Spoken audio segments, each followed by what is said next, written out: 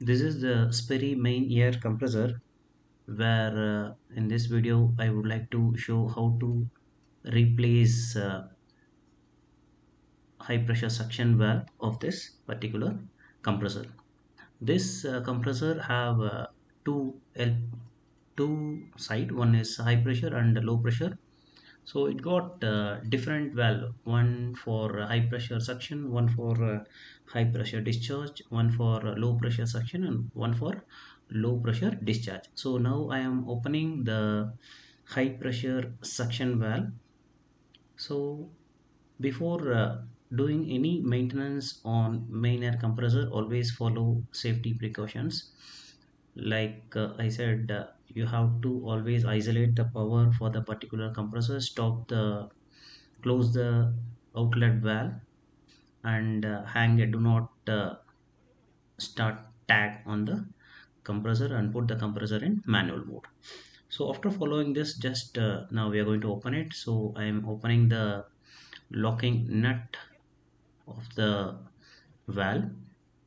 So as i say always use proper tool for opening the nut. If you are if you are using the wrong size of tool you may damage the nut head. So now we are opening the nut. So nut opening is in progress. So once uh, the nut is removed just tap with a hammer and remove the top flange. So that is what we are going to do now. We are uh, we are loosened the nuts and just we are giving a tap over the flange which is a high pressure uh, valve cover. Just give a tap with the help of hammer and uh, you can lift it with the help of hand only. No need uh, of any special tool. Just lift it it will come by itself.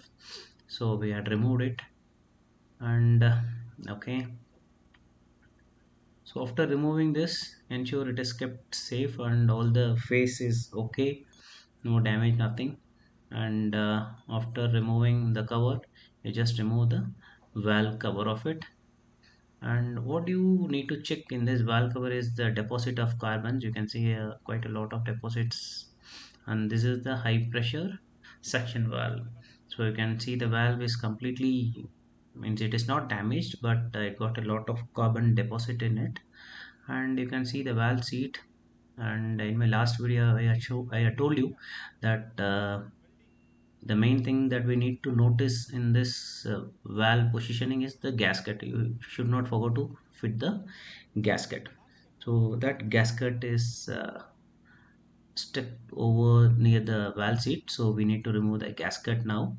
So i'm using a welding rod just sharpen it and remove it. You can see the gasket and uh, you can see the gasket is already damaged it's broken. So i cannot use that uh, gasket even after doing annealing also so i have to discard it. So next thing is uh, these are the carbon deposits which get deposit inside the valve cover. So all we need to do is we need to remove the carbon deposits. So it is very easy either you can use a buffing machine small buffing machine pencil grinder like thing or else you can use the emery paper to remove all the deposits carbon deposits you can remove it. So just uh, use a hard emery and uh, ensure all the carbon deposits have been uh, completely removed so that it looks good it looks clean. Uh, okay so we are done with the cleaning of this cover. You can see all the deposits has been removed. So this is how we have to remove. Once that is removed then you have to keep the clean the valve seat surface. So that is what i'm doing now. Just clean it with a paper. That is more than enough.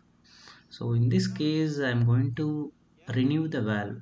So before renewing the valve you have to check uh, whether we have the exact part number or everything. Just check this is the valve seat valve seat should be clear enough.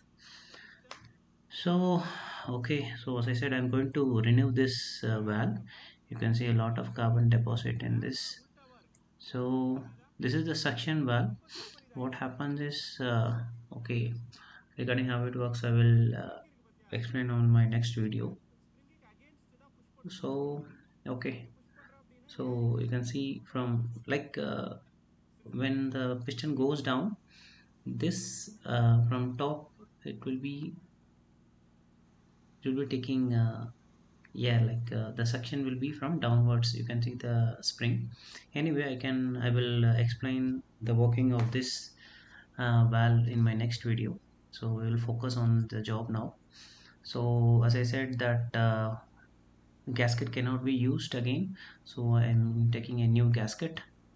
So new gasket I'm taking so new gasket is ready. And next is uh, always uh, whenever you are using uh, any spares for the compressor always compare with the spare number so that you should not uh, misplace any kind of uh, spares with other because some spares look very similar but minor changes will be there. So always check and confirm with the number so that you don't get confused or you don't uh, fix the wrong uh, part in place. So o-ring is ready and as I said this is the part number for high pressure suction valve 3049 and I compared with the manual. It is also fine so we are removing it. It's a brand new valve. We're going to change it. Just be careful when you are handling these valves because it should not drop down. So that is what uh, you can see the packing is so good. Like airtight packing. Again in each and every pack there will be a valve number so that uh, you will be double confirming. Valve number is 3049 and just confirm with the maintenance kit. So you can double ensure that's all so this is a new valve. I'm going to open it. So okay remove it nicely. Yeah. Okay.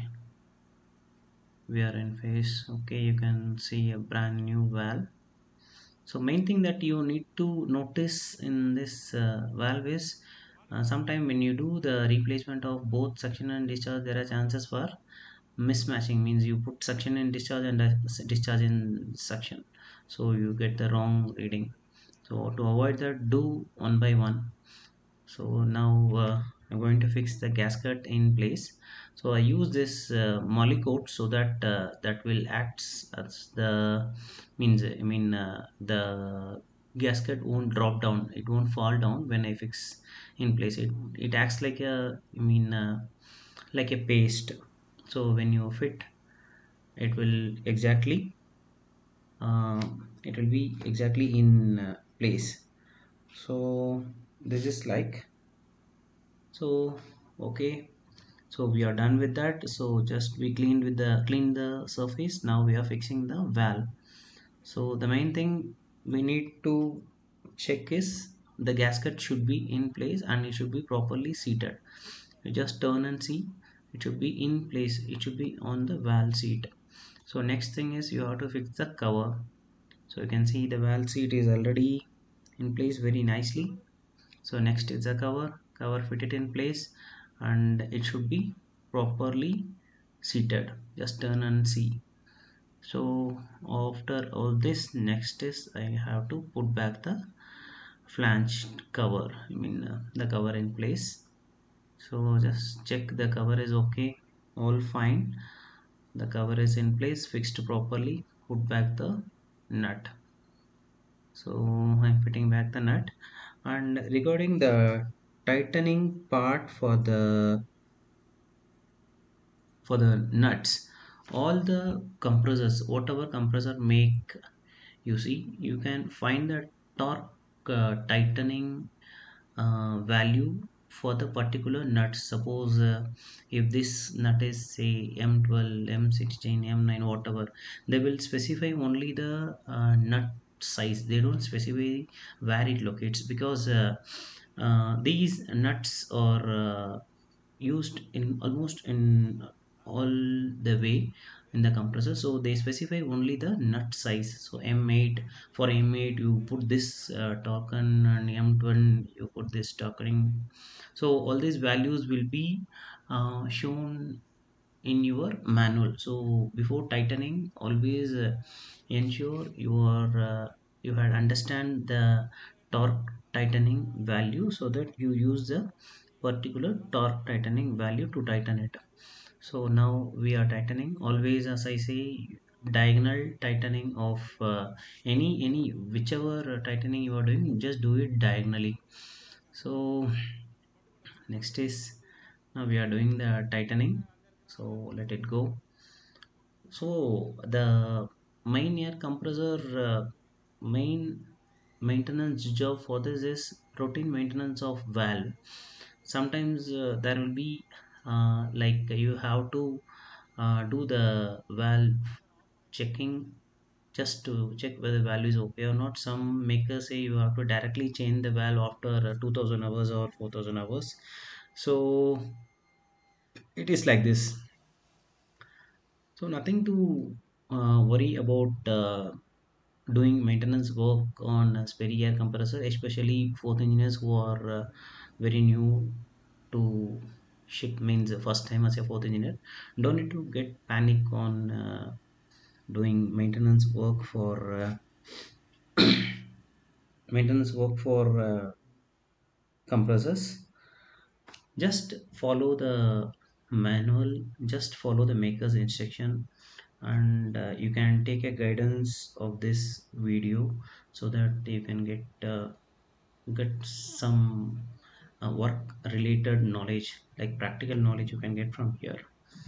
So that's all we are done with this. The same way you will be doing the maintenance work means changing the valve for other three also. The same procedure you have to follow for uh, um, LP discharge suction high pressure uh, discharge valve whatever. So main thing just I want to revise it to you before doing any work on compressor read the manual properly check the safety aspects take proper precautions and uh, precautions is very much important to do any maintenance work on compressor because if you missed any one of the safety precaution that may end up into accidents. So always uh, switch off the power close the outlet valve and uh, you have to ensure that uh, you have proper proper uh, what do you call a proper tool in hand to work with it. And uh, overall if you have any doubt just uh, take guidance from your senior engineers. So these are all the things that we need to know. Here is my uh, junior engineer working on compressor. I think he's now very comfortable to work with the compressor. I think he can handle compressor on his next shift hopefully. Anyway very simple. So this is how we have to do valve related maintenance on uh, main air compressor for this Sperre. So i believe this video must have given you some information about uh, how to do valve uh, valve valve renewal and opening of uh, valve and uh, fitting back and tightening back the valves. So if you have any doubt in this maintenance part please put in comment box. Definitely i will uh, reply your queries. And I believe uh, this video must be useful for uh, any junior officers and fourth engineers who is on board or going to get on board soon. Keep supporting our channel. Take care. Bye guys